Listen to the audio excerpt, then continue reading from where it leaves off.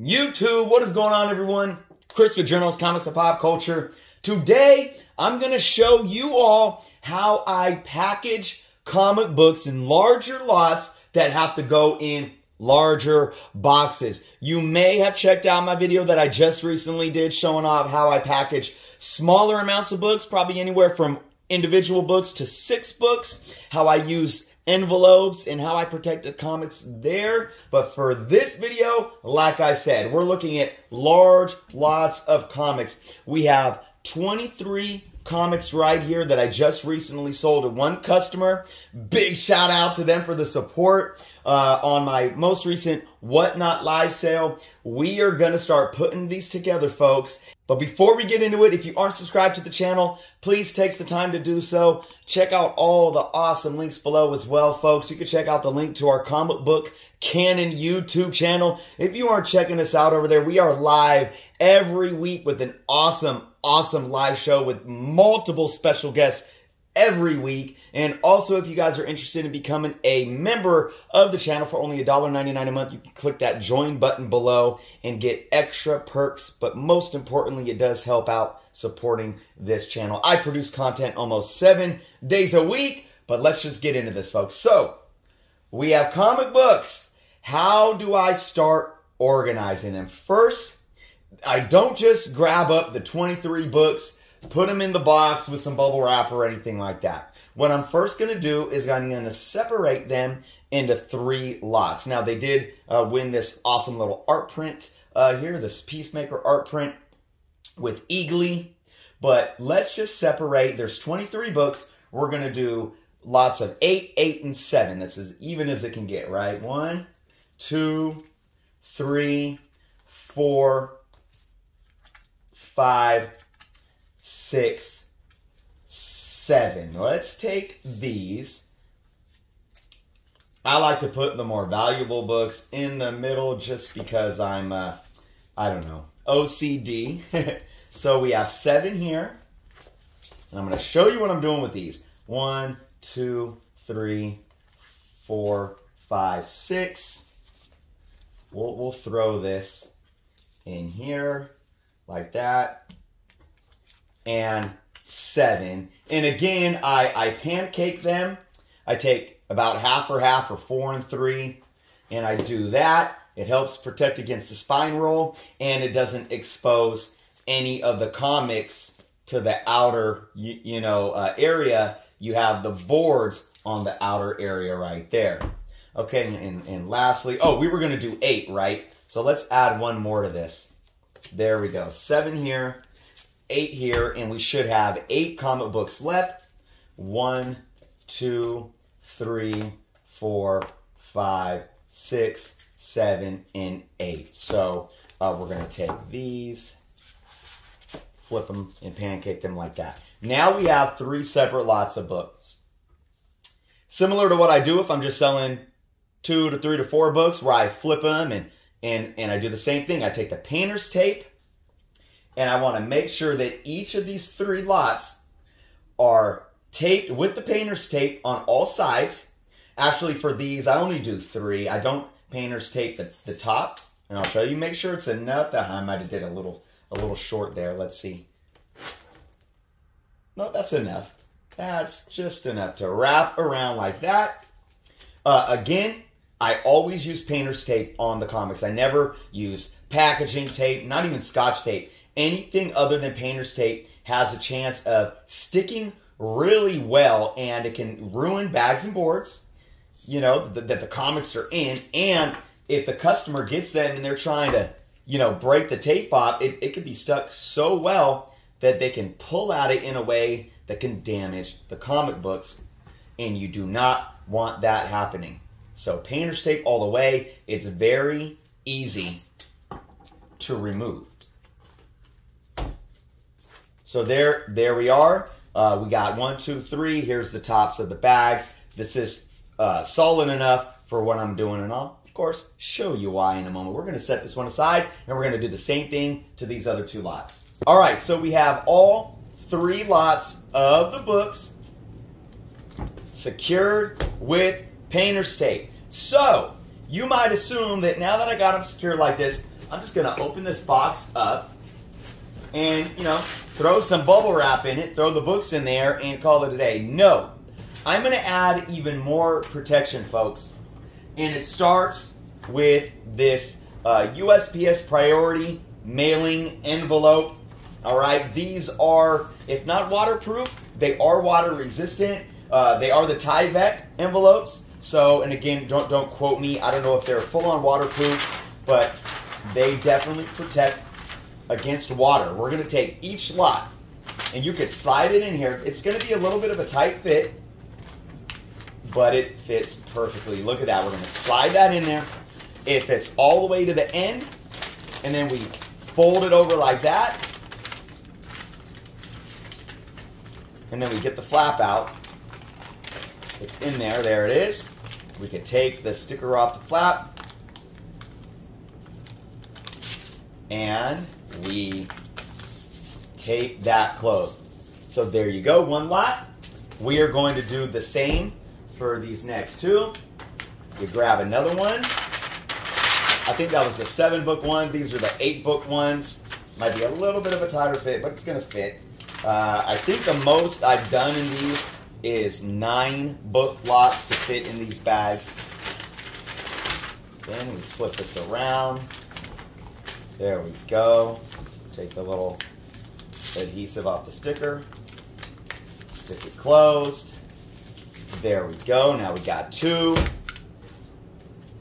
We will do the same to the last one here.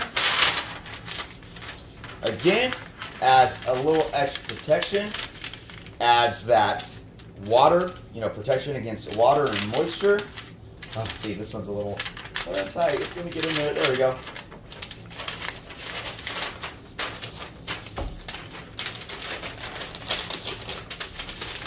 Oh, this one is being a little difficult, but there we are. Let's pull this off. Stick it closed. All right, now we have our three separate envelopes of comic books. Now we're gonna get into the box, folks. So I got th this is uh, big big bubble bubble wrap. So we got some of that here. Okay, we got small pieces and bigger pieces. I'm going to show you why both are essential. And we got you know your standard standard size bubble wrap here. We might use a little bit of both. We shall see. So what I like about the big bubble wrap, but again, folks, this is just personal preference at this point.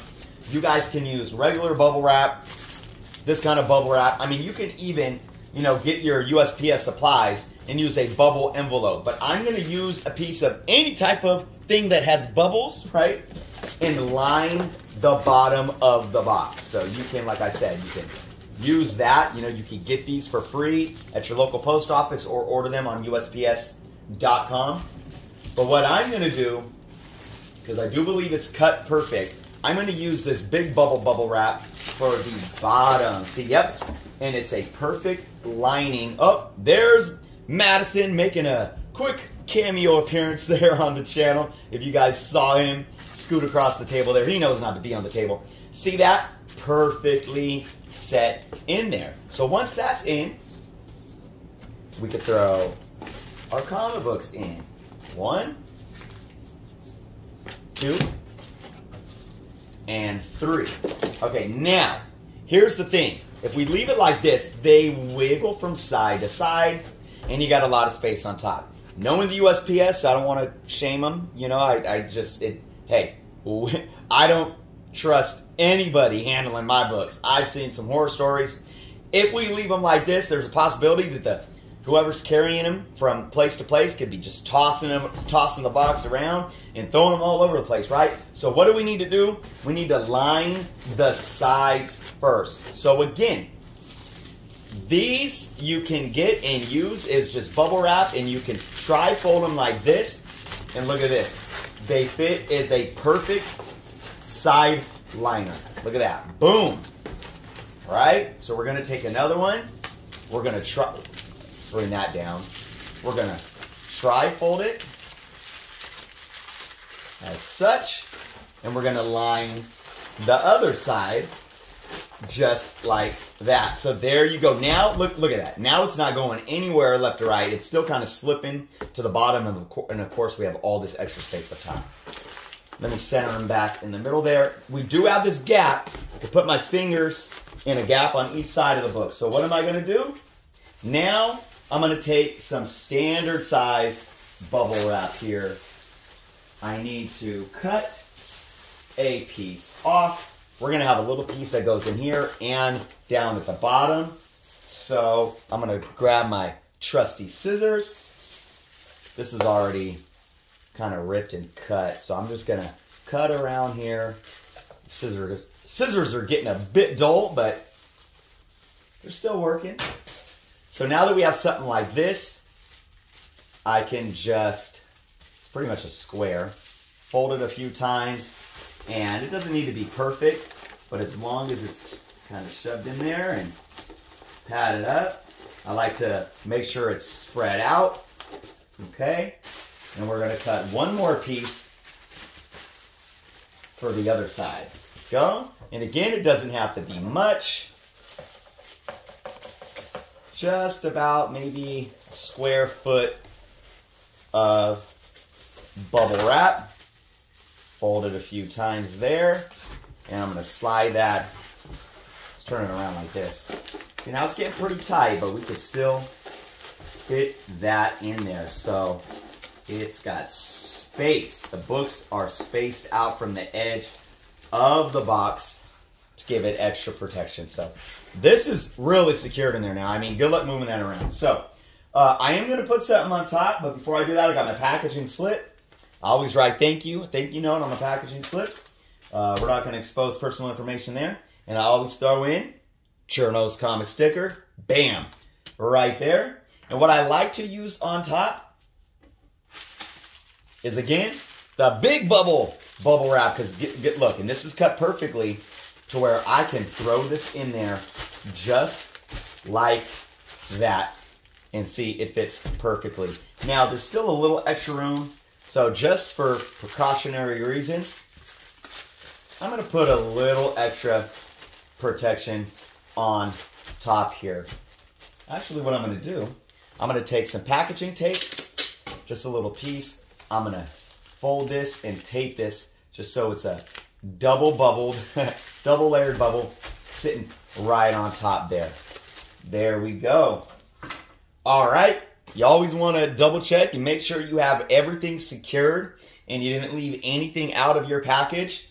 You should be doing that as you're proceeding step by step. But right now, before you tape it up, it's final. We're gonna close this up. And again, folks, huge tip recycle.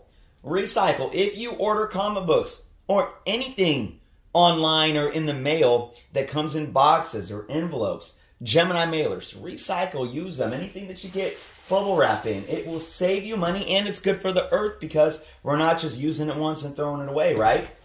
So uh, sometimes I use the clear packaging tape on boxes. I usually have the brown packaging tape. It is a little more uh, durable but I ran out, so I am using clear. Now, what I like to do as well, I like to get all sides of the box because, again, it's just, it's extra protection, not only from it possibly opening, but from it being exposed to uh, outside foreign substances, such as possible moisture, right? Moisture, dust, anything like that. So, once we have that, and again, I'm not going to do this on camera to give away somebody's personal information. We throw the uh, shipping label on, use packaging tape to package it on there. Voila, there you have it. A large lot of comics ready to be shipped, sent out to the post office. Hopefully another happy customer. I absolutely enjoy taking the time to make sure everybody's comics are packaged extremely safe. It's a lot of hard work and it is absolutely time consuming. I spent almost eight hours packaging just 26 packages from my last Whatnot sale. But guys, I wouldn't do it any other way. Your books are precious to you. I know as a collector, I want my books to uh, arrive in the condition that I purchased them in. So Hope you all learned a little something here today. Let me know your thoughts on the packaging job that I did today in the comments below. And again, if you aren't subscribed, please, folks, please take some time to do so. I appreciate you all. And again, I'm here almost seven days a week making all kind of comic book content for all of you. Thank you all so much for watching. Be well, and until next time.